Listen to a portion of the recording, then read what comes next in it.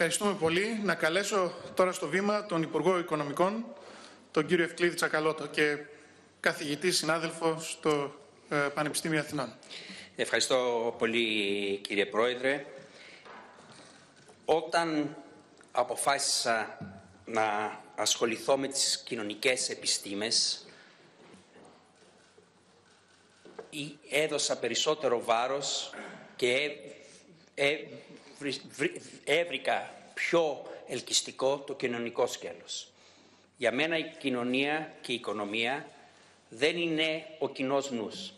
Δεν είναι να εφαρμόσουμε πράγματα που όλοι συμφωνούμε σαν να είναι εκτός της ιστορίας, εκτός των αξιών, εκτός των οραμάτων, μια επιστήμη που υπάρχουν οι σωστές και οι λάθος απαντήσεις. Δεν το βρίσκω ελκυστικό, δεν το θεωρώ ότι είναι σωστό και νομίζω ότι στο τέλος δεν είναι και δημιουργικό. Προτιμάω όταν είναι να μιλάμε για την οικονομία και την προπτική της οικονομίας να γίνει αντιπαράθεση, όχι τι έκανε ο ΣΥΡΙΖΑ και τι έκανε η Νέα Δημοκρατία, αλλά πάνω σε τι οικονομία θέλουμε, πάνω σε όταν λέμε θέλουμε την προπτική αυτής της οικονομίας, προπτική για ποιον, με ποιους φορείς, με ποια διανομή και αναδιανομή του εισοδήματος. Αυτά είναι τα βασικά ζητήματα. Αν δεν υπάρχει αυτή η αντιπαράθεση στο πολιτικό σκέλος, πάντα να είσαστε ύποπτοι. Πάντα να πιστεύετε ότι κάτι κρύβεται από πίσω. Όταν κάποιος σας παρουσιάζει ότι αυτό που λέω το κάνουν όλα τα άλλα κράτη λες και όλα τα άλλα κράτη το 2008 και 2009 δεν πήγανε σε κρίση. Όταν λένε ότι αυτό είναι η λογική. Να είσαστε πάντα ύποπτοι. Γιατί πίσω από αυτό δεν υπάρχει η λογική, ούτε ο κοινός νους, υπάρχει ομοίο εξουσία. Ότι έτσι το κάνουμε εμείς. Οι άνθρωποι που εμείς υποστηρίζουν μας λένε ότι αυτό είναι το σωστό. Δεν υπάρχει αντιπαράθεση, όλες οι κοινωνικές ομάδες θα κερδίσουν, όλα θα πάνε καλά για όλους, δεν θα υπάρχει καμιά διαφοροποίηση μεταξύ την αξία της λογικότητας και του ατομικισμού, μεταξύ της ελευθερίας και της ισότητας. Όλα είναι πρέπει να κάνουμε αυτό, είναι σημαντικό να γίνει αυτό. Ανακαλύπτουμε ιδεολογήματα όπως ότι είμαστε στην κοινωνία της γνώσης, λες και όταν ήταν ο Νεύτωνας, ο Άινστάιν δεν ήταν η οικονομία της γνώσης, ήταν κάποιες άλλες οικονομίες και κοινωνίες αυτές και προχωράμε με τα ίδια κλισέ. Πρέπει να είμαστε ανταγωνιστικοί, πρέπει να έχουμε την καινοτομία, πρέπει να πάμε μπροστά. Αυτό το μπροστά είναι που με σκοτώνει εμένα. Δηλαδή που λέει απολύτω, το απολύτως τίποτα. Μου θυμίζει τον Ανδρέα του Παπανδρέου που ο, ο σκητσογράφος είχε το, τη ταμπέλα, δεν είναι εναντίον του πριν ε, πεταχτείτε κύριε Μανιάτη, δεν είναι εναντίον, του Παπανδρέου αυτό, που είχε μια ταμπέλα που έλεγε σοσιαλισμό και όπου πήγαινε η, γυρνούσε ο Ανδρέας Παπανδρέου ήταν και εκεί ο σοσιαλισμός. Τι είναι το νέο, να το ορίσουμε. Άρα λέω εγώ να σας πω όχι πόσο κακή είναι η Νέα Δημοκρατία και πόσο καλός είναι ο ΣΥΡΙΖΑ και η κυβέρνησή μας, αλλά οι αντιπαραθέσεις που πρέπει να αποφασίσουμε και να γίνει η συζήτηση πάνω σε αυτό. Πρώτη αντιπαράθεση για τη φορολογία. Έχω ακούσει και από τον κύριο Στακούρα αλλά και άλλους ομιλητές που παρακολούθησα από την τηλεόραση ή μου το στείλανε ε, τα παιδιά που με βοηθάνε ότι το βασικό πρόβλημα μετά από, τις, από το μνημόνιο είναι ότι δεν έγινε αρκετή αναπροσαρμογή από τη μεριά των δαπανών και έγινε όλο από τις, ε, τη φορολογία. Να σας θυμίσω πρώτον ότι για τα 10 χρόνια πριν από την κρίση η Ελλάδα είχε περίπου το μέσο όρο της Ευρωπαϊκής Ένωσης στις δαπάνες. Να συζητήσουμε για την ποιότητα αυτών των δαπανών και αν πήγαιναν εκεί που πρέπει, να το συζητήσουμε. Αλλά εκεί ήταν, στο μέσο όρο, και είμαστε 6-7% μονάδες κάτω από το μέσο όρο στα, στα έσοδα. Παράξενο να είναι αυτό το βασικό πρόβλημα της Ελλάδας για τα 30-40 χρόνια ότι είχαμε πολύ ψηλές, ψηλούς φόρους και χαμηλούς, χαμηλές δαπάνες. Παράξενο. Πριν facie, πριν πάμε παρακάτω. Μετά να σας δείξω αυτό το πίνακα. Αυτός ο πίνακας λέει για κάθε χρόνο μετά από το 10 από όλα τα μνημόνια, από όλα τα πακέτα, από όλα τα προγράμματα πόσο ήταν από τη μεριά των δαπανών και ποια, πόσο ήταν από τη μεριά των φόρων, των εσόδων. Το 2011 ήταν περίπου το ίδιο. Το 2012 ήταν σχεδόν 99% από τις δαπάνες και 1% από τα έσοδα. Το 2013 ήταν 83% από τις ε, δαπάνες και μόνο 17% από τα έσοδα. Το 2014 ήταν 74% από τις δαπάνες, να μην σας κουράζω, μέχρι που φτάσαμε εμείς και τι ήταν το μεμπτό σε εμάς, ότι κάναμε 58% περικοπές, δηλαδή αναπροσαρμογή από τις δαπάνες και 42% από τα έσοδα. Δηλαδή ένα ολόκληρο ιδεολόγημα είναι ότι δεν έχουμε κάνει αρκετή αναπροσαρμογή από τις ε, δαπάνες και έχουμε κάνει όλα από τους φόρους. Που δεν βγαίνει από κανένα στοιχείο εδώ πέρα και το μόνο που έχει κάνει ο ΣΥΡΙΖΑ είναι λίγο να διαρθώσει αυτό και η κυβέρνηση και αυτοί που το λένε δεν μας εξηγούν και ποιες άλλες δαπάνες θέλουν να κόψουν. Να πούμε ότι οι φόροι είναι πρόβλημα, να το, θα το συζητήσω και μετά, αλλά όλες τις μελέτες που ξέρω εγώ λένε ότι αυτό που θέλουν οι επενδυτές είναι την προβλεψιμότητα των φόρων. Την προβλεψιμότητα του πλαισίου. Όχι τόσο πολύ το ύψος των φόρων. Και να πούμε κάτι ότι χρειάζεται ένα αναπτυξιακό μοντέλο και η προπτική της οικονομίας να βασιστεί και λίγο στη δικαιοσύνη. Ακόμα και το Δουνουτού, στα έγγραφά του, τώρα μας λέει ότι η ανάπτυξη πάει μαζί με την ισότητα. Ότι πρέπει να ενσωματώσει όλους. Δυστυχώς, όπως και με το ΚΚΕ, κύριε Θανασόπουλε, υπάρχει Δουνουτού εσωτερικό και Δουνουτού εξωτερικού. Και όπως και με το κουκουέ είναι καλύτερο του εσωτερικού. Ε, το Δουνουτού εσωτερικό που είναι στην Αμερική γράφει τέτοια πράγματα. Θα διαβάζετε άρθρα επί άρθρων που λένε πόσο σημαντικό είναι ο ρόλος των γυναικών και να μην τις περιθεροποιούμε για την ανάπτυξη, πόσο σημαντικό είναι να αντιμετωπίσουμε τη φτώχεια, πόσο σημαντικό είναι η ισότητα, στο δούνο του εξωτερικό δεν το ακούμε αυτό. Όταν πιέζουν για μειώσεις συντάξεις και μείωση του αφορολόγητου. Άρα να συμφωνήσουμε να κάνουμε αυτή τη συζήτηση.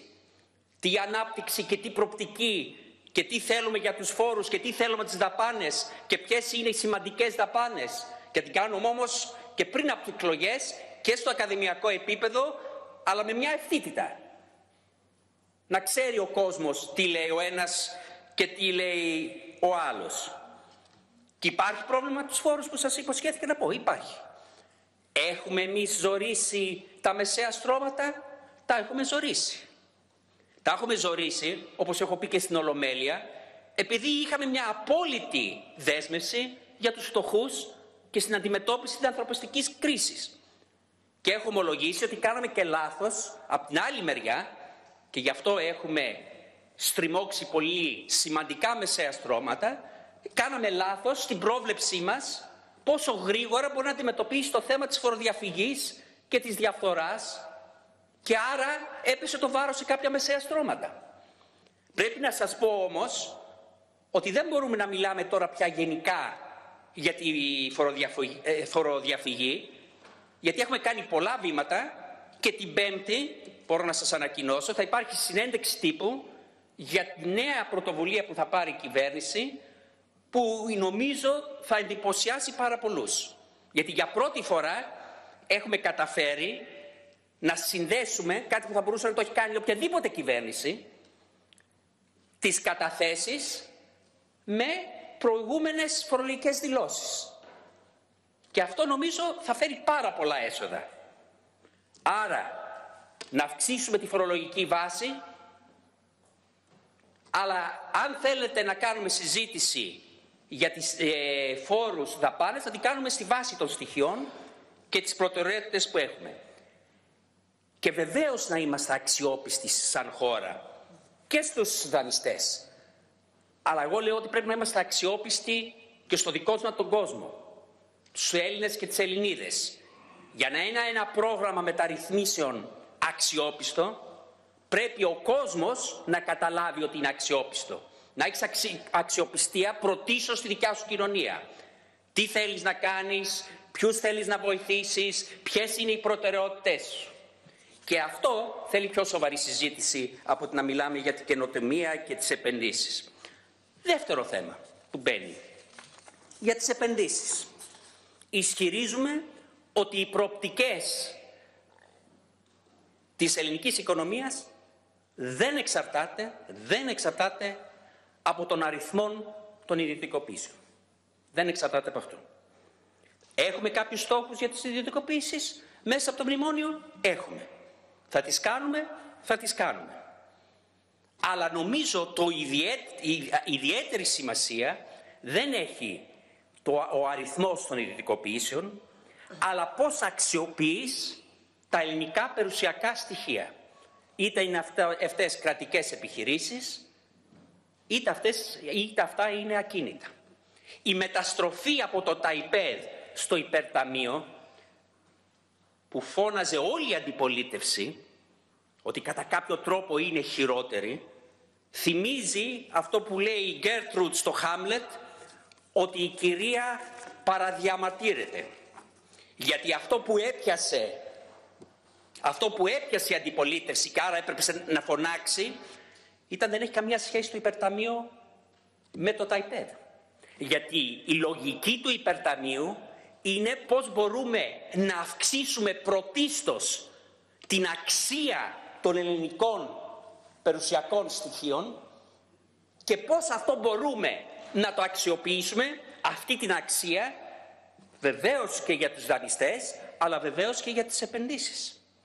Και άρα για μας το υπερταμείο και όλη η λογική δεν είναι κάνουμε επενδύσεις και ξαφνικά θα έρθουν 100 εκατομμύρια, που δεν θα έρθουν έτσι, 100 ε, δισεκατομμύρια, που δεν θα έρθουν έτσι, δεν θα έρθουν έτσι, θα έρθουν όταν έχεις ένα σχέδιο. Και να ξαναμπούν μέσα όπως μπαίνει στη σύγχρονη σοσιοδημοκρατία στην Ευρώπη εδώ δεν το ακούω οι παλιές έννοιες, έννοιες και της βιομηχανικής πολιτικής και της περιφερειακής πολιτικής. Ξέρουμε τι θέλουμε να κάνουμε με τα λιμάνια που θέλουμε να τα ιδιωτικοποιήσουμε. Ξέρουμε πώς θα το συνδέσουμε αν θέλουμε αυτή την ιδιωτικοποίηση ή αν θέλουμε αυτή την αξιοποίηση, πώς θα, πώς θα συνδεθεί με την περιφέρεια που είναι, με τις άλλες επιχειρήσεις εκεί που συνδέεται. Αυτή είναι η ουσία για να έχει ανάπτυξη και να έχει προπτική ελληνική οικονομία. Όχι γενικώς ότι εμείς είμαστε υπέρ των ιδιωτικοποιήσεων. Είναι η αξιοποίηση του ελληνικού πλούτου για το καλό των Ελλήνων και των Ελληνίδων. Και αυτό θέλει ένα σχέδιο που ξέρεις όταν αξιοποιείς κάτι, όταν κάνεις σύμπραξη για κάτι, όταν δανείζεσαι για να μπορέσεις να καλυτερέψεις ένα περιουσιακό στοιχείο πριν το εκμεταλλευτείς, γιατί το κάνεις, για ποια περιφέρεια, πώς βοηθάει αυτή την περιφέρεια, πώς βοηθάει τους εργαζόμενους, πώς αυξάνει την κατάρτιση αυτών των εργαζομένων σε αυτή την περιοχή; Αυτό σημαίνει να έχεις προπτική, να έχεις σχέδιο, που το σχέδιο δεν μπορεί να είναι τα ευκολόγια ότι θέλουμε επενδύσεις και θέλουμε καινοτομία και θέλουμε το καινούριο. Και να πούμε και το εξής.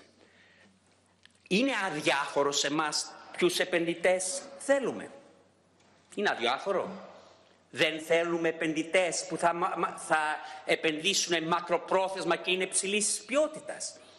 Όποιοι να είναι να τα παίρνουν τα πράγματα. Για όποιους λόγους θέλουν, απλώς για να βγάζουμε λεφτά και να δείξουμε κάποιο δίκτυ βραχυπρόθεσμα ότι πάμε καλύτερα. Ή θέλουμε μια στρατηγική που όσο θέλουμε ξένους επενδύσεις, τους ξέρουμε γιατί τους θέλουμε, τις θέλουμε αυτές τις επενδύσεις. Και οικονομετρικά για τους οικονομολόγους, δεν βγαίνει από οικονομετρικές μελέτες ότι οι άμεσες ξένες επενδύσεις αυξάνουν την, το ρυθμό ανάπτυξη. Δεν βγαίνει. Και ο λόγος που δεν βγαίνει, και μπορεί να είναι και αρνητικό που λέει ο κύριος Καζάκος. Α, δεν λέει εδώ. Ε; Ναι. Και γιατί, γιατί δεν είναι όλες οι ξένες άμεσες επενδύσεις καλό για την οικονομία. Και αν δεν έχεις μια στρατηγική, δεν, δεν βοηθάει. Άρα δεν είναι η απάντηση επενδύσεις, μη επενδύσεις, ιδιωτικοποίησεις, μη ιδιωτικοποίησεις, αλλά τι σχέδιο έχεις και για τις μικρομεσαίες επιχειρήσεις. Πώς τις συνδέεις αυτές σε μια χώρα που η 90% ίσως και λέω και μικρό αριθμό έχει κάτω από 20 εργαζόμενους εργαζόμενους. Τι σχέδιο έχεις αυτό; Και έχεις ένα σχέδιο που είναι με καινούργια χρηματοοικονομικά εργαλεία που χρησιμοποίησα αλλιώς από τα ΕΣΠΑ. Έχει κάνει το Πασό και η Νέα Δημοκρατία κάποια κριτική οικονομολόγη τους για το οικονομικό μοντέλο που υπήρχε στη μεταπολίτευση. Που ήταν το φθηνό χρήμα και τα μεγάλα έργα. Δεν το έχω ακούσει ποτέ εγώ. Όχι γιατί θέλω να κάνω κριτική, όχι γιατί θέλω να κάνω κριτική, γιατί θέλω να ξέρω που πάμε μπροστά. Συμφωνούμε σε κάποια διαφορετική στρατηγική πέραν από τις τράπεζες, το φθηνό χρήμα και τα μεγάλα έργα. Να το ακούσω όμως, γιατί δεν το ακούω. Άρα ήταν λάθος το μοντέλο. Είχε δίκιο η αριστερά όταν έλεγε ότι αυτό το μοντέλο δεν είναι, ήταν μη βιώσιμο. Να το ακούσω αυτό. Τρίτον, δεν έχει προπτική και δεν βασίζεται η προπτική πάντως στην κοινωνιολογία. Και έχω ακούσει πολλή κοινωνιολογία τις τελευταίες δύο-τρεις εβδομάδες και από ανθρώπους που δεν το περίμενα. Δεν θα πω ονόματα. Είναι αλήθεια δηλαδή ότι βοηθάει την ελληνική οικονομία να λέμε συνεχώς ότι μπορεί και σε λίγο να μην μπορούμε να πληρώσουμε συντάξεις, όπως άκουσα στο Real. Ότι θα χρειαστούμε τέταρτο πρόγραμμα. Ότι θα μπορούσαμε να είχαμε κλείσει την αξιολόγηση το Φλεβάρι του 2016. Όποιος το ξαναπεί αυτό, τον καλώ στο γραφείο μου με ένα πακέτο που νομίζω γεμίζει το μισό γραφείο τι νόμους έχουμε περάσει τους τελευταίους 18 μήνες; Και αν αυτός ο άνθρωπος μπορεί να μου πει ότι σε έξι μήνες, στο 1 τρίτο του χρόνου θα μπορούσαμε να κάνει όλα αυτά τα νομοσχέδια, δεν έχω τον χρόνο και δεν είναι σωστό να σας τα πω όλα ποια είναι, αλλά θα τα θυμάστε από τις συντάξεις μέχρι το χρηματοοικονομικό τομέα και από το υπερταμείο μέχρι το φορολογικό σύστημα, πραγματικά μου λέτε ότι αυτό θα μπορούσε να έχει κλείσει η πρώτη και η δεύτερη αξιολόγηση μέσα σε πέντε μήνες και δεν σας έχει περάσει από το μυαλό σε κανέναν ότι αυτή ήταν μια στρατηγική της Τρόικερ να τα βάλει όλα και να πει ότι μπορεί να τα τελειώσει σε δύο αξιολογήσεις μέχρι το Φλεβάρι. Άρα να μην κάνουμε κινδυνολογία. Να μην κάνουμε κινδυνολογία. Η υπερ... υπέρβαση του στόχου του 2016 στα έσοδα που είναι καλό, από την άλλη μεριά δημιούργησε περισσότερη ύφεση. Γιατί είναι κριτική αυτό στην κυβέρνηση; Και δεν είναι κριτική στους θεσμούς που μας λέγανε ότι τα μέτρα σας δεν θα πάρετε αυτή την απόδειξη που λέτε και δεν υπολογίζουν τα μη παραμετρικά μέτρα. Και ας λέει ο πρόεδρος των τραπεζών, ο κύριος Καραμούζης, ότι τον έχουν εντυπωσιάσει πόσοι άνθρωποι είναι στην τράπεζα κάθε μέρα, κάθε εβδομάδα και πληρώνουν με ηλεκτρονικές κάρτες. Γι' αυτό υπάρχει υπεραπόδοση. Αυτή η υπεραπόδοση είναι και επειδή μας βάζανε περισσότερο μέτρα, μέτρα γιατί μας λέγανε ότι δεν είναι τόσο η απόδοση, αυτό που φαντάζομαι θα το είχες ε, τραβήξει και εσύ Χρήστο, αλλά και επειδή τα μη παραμετρικά μέτρα αρχίζουν. Τα καλά νέα είναι ότι δεν χρειαζόμαστε όμως περισσότερη λιτότητα. Ότι φτάνουμε στο στόχο, θα φτάσουμε στο στόχο. Και γι' αυτό έχουμε διαπραγματευτεί ότι το νέο πακέτο, αυτό που θέλει το Δουνουτού για να πει στο πρόγραμμα και να πιέσει τους Ευρωπαίους για το χρέος, θα έχει μηδενικό δημοσιονομικό αποτέλεσμα. 2% προς αναπτυξιακή πλευρά και 2% προς ε, περιοριστική ε, κατεύθυνση. Και μετά όταν κλείσει η δεύτερη αξιολόγηση και είμαι σε θέση να σας πω ότι θα κλείσει πολύ γρήγορα, πολύ πιο γρήγορα από ό,τι νομίζετε.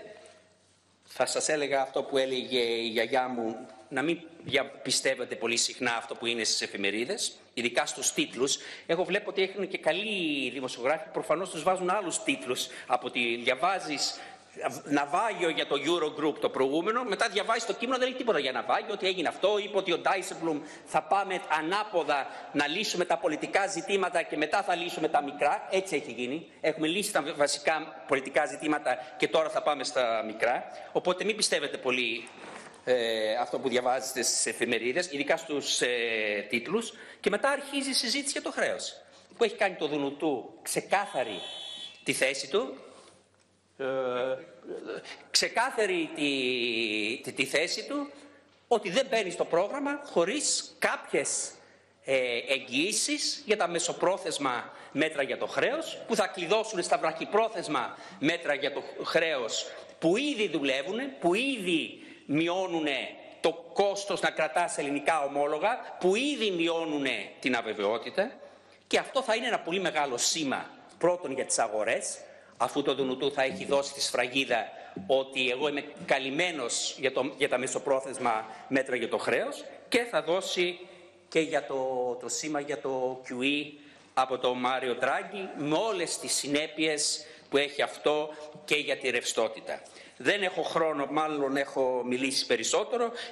Πολύ σημαντικό ζήτημα είναι, δεν ξέρω πόσο το, το αναλύσατε εδώ στο συνέδριό σας για τα κόκκινα δάνεια, που οι παρεμβάσεις που έχουμε κάνει είναι 6-7 νομοσχέδια σε σχέση με την προηγούμενη κυβέρνηση που κάνανε ανακεφαλοποίησεις και δεν τα αντιμετωπίσανε τα κόκκινα δάνεια.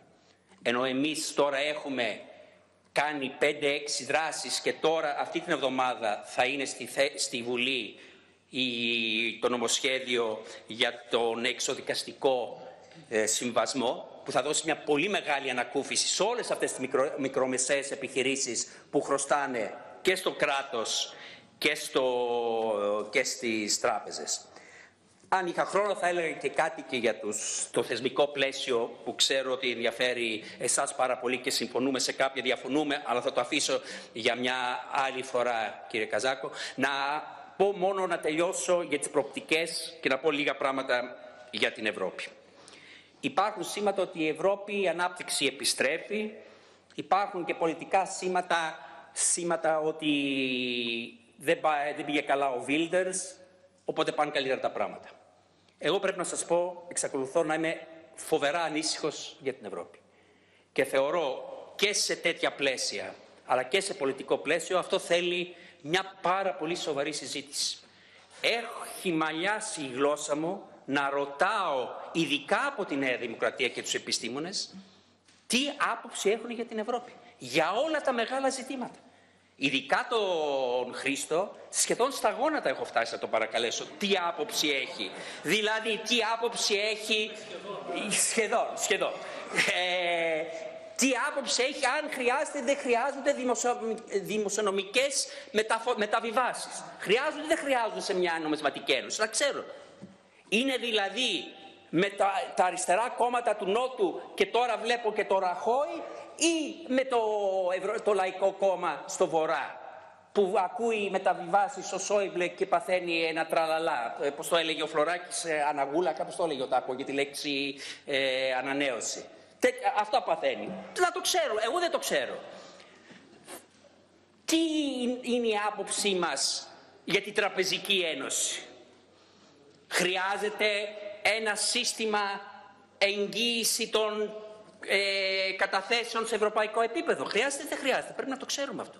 Πρέπει να γίνει μια συζήτηση. Κατά τη δική μου άποψη, η Ευρωζώνη δεν είναι σε σταθερό σημείο. Έχει πολύ μεγάλο συστημικό πρόβλημα από την αρχιτεκτονική της και έχει ένα τεράστιο πρόβλημα από την πολιτική της. Ένα, ένας από τους λόγους που έχουμε δώσει τόσο μεγάλη βάση στη συζήτηση για τα εργασιακά είναι ότι έχουμε καταλάβει, ε, όχι μόνο από τις αξίες μας, όχι από τις ιδεολογίες μας, που λέει ο αρχηγός της αντιπολίτευσης, αλλά ότι δεν πιστεύουν πια οι Ευρωπαίοι πολίτες, γυναίκες και άνδρες, ότι όταν θα έρθει η σοβαρή ανάκαμψη, δύο λεπτά θέλω μόνο πρώτο, δεν, όταν θα έρθει η ανάκαμψη, ότι θα έχουν μέρος σε αυτή την ανάκαμψη. Δεν το πιστεύουν. Δεν τους πείθουν τα βασικά παραδοσιακά κόμματα. Δεν τους πείθουν δηλαδή ότι όταν θα έρθει η ανάκαμψη έχει κάποιο ρόλο και ο κόσμος της εργασίας και ο κόσμος ε, ε, της φτώχειας, ότι θα δει το πρόσωπό του. Αυτή η Ευρώπη μπορούμε να τη συζητήσουμε. Αυτή θα ήταν μια πρόταση, ε, κύριε Πρόεδρε, και το, τη Βουλή, να δείτε κι εσείς τα οικονομικά της Ευρώπης, που είναι ένα τεράστιο πρόβλημα για, την, ε, για τις δικές μας προπτικές. Εκτός να, να μην κάνουμε κριτική στη Γερμανία, που τώρα έχει βγάλει στο ισοζύγιο πληρωμών το μεγαλύτερο πλεόνασμα, μεγαλύτερο από την Κίνα. Δεν θα πούμε τίποτα γι' αυτό. Δεν θα πούμε, θα το συζητήσουμε αυτό. Μπορεί να είναι και θα ακούσω για ανάπτυξη και ανταγωνισμό και για μισθούς και αυτό. Και αυτό που είναι ο ελέφαντας μέσα στο δωμάτιο δεν αναφέρεται καθόλου. Είναι ο ελέφαντας μέσα στο δωμάτιο. Όλοι ξέρουμε ότι αν οι χώρες του Βορρά έχουν τέτοια πλεονάσματα δεν θα γίνει ανταγωνιστικός ο Νότος. Το ξέρουμε όλο. Εκεί είναι και αρχίζουμε και, και λέμε και πόσο σημαντικό είναι να έχουμε έρευνα και τεχνολογία και το ένα και το άλλο. Είναι ή δεν είναι ο ελέφαντας μέσα στο δωμάτιο αυτό; Και αν είναι να το συζητήσουμε και να κάνουμε τέτοιες συζητήσεις. Είδατε ότι ήμουν πολύ προσεκτικός στην κριτική και για το Πασό και την Νέα Δημοκρατία. Δεν ήθελα να κάνω τι κάνατε, τι κάναμε. Προκαλώ μια συζήτηση από το ακαδημιακό στο πολιτικό και πίσω συζήτηση για αυτά τα ζητήματα. Πόσο συνδυάζεται η ισότητα με την ανάπτυξη, από πού βγαίνει ότι οι φόροι, το επίπεδο των φόρων, όχι η διάρθρωση, το επίπεδο των φόρων είναι πρόβλημα, αν είναι ότι να είναι η αναπροσαρμογή από τις δαπάνες, να κάνουμε ποιες δαπάνες, όχι έτσι γενικώς, όχι έτσι γενικώς, γιατί μετά δεν θα έχουμε την αξιοπιστία στον κόσμο, που θα ρωτάει, θα είναι το δικό μου σχολείο, το δικό μου νοσοκομείο, ο δικός μου δρόμος. Να ξέρουν οι άνθρωποι. Όχι έτσι γενικώς θα μειώσουμε τις δαπάνες. Τι Ευρώπη θέλουμε, Ποιο είναι το πρόβλημα της Ευρώπης, είναι πιο πολύ πολιτικό, είναι πιο πολύ οικονομικό, είναι αρχιτεκτονική. Όλα αυτά τα πράγματα πρέπει να γίνει η αντιπαράθεση. Είναι πολύ σημαντικό το γραφείο του προπολογισμού που με έχει στεναχωρήσει λίγο τελευταία αλλά είναι. Έχω συνηθίσει να με στεναχωρούν οι θεσμοί και οι οργανισμοί το τελευταίο καιρό. Νομίζω όμως έχει ένα πολύ σημαντικό ρόλο, το ξέρει νομίζω ο πρόεδρος και εσείς ότι το έχω υποστηρίξει και από τη στιγμή που ήμουνα και στην αντιπολίτευση Ποτέ δεν έχω κάνει κριτική και πάντα υποστήριζα το ρόλο του. Θεωρώ ότι είναι πολύ σημαντικός ο ρόλος. Πραγματικά θεωρώ ότι έχετε κάνει καλό έργο. Αλλά νομίζω ότι πρέπει να μπούμε σε μια σοβαρή συζήτηση όπου η επιστήμη, το ακαδημαϊκό επηρεάζει τη δημόσια πολιτική και βοηθάει να είναι πιο πλούσια, όχι πιο consensus, δεν είμαι εγώ υπέρ του consensus, είμαι να βγαίνουν οι αντιπαραθέσεις και τελειώνω με αυτό εκεί που άρχισα στον αέρα για να ξέρει όλος ο κόσμος για τις αξίες μας, να ξέρει όλος ο κόσμος για ποιους υποστηρίζουμε, γιατί τους υποστηρίζουμε, για ποιο μοντέλο θέλουμε να κάνουμε. Και νομίζω ότι προπτική για την ελληνική οικονομία, χωρίς αυτά να είναι στην επιφάνεια, δεν θα έχουμε. Σας ευχαριστώ πολύ.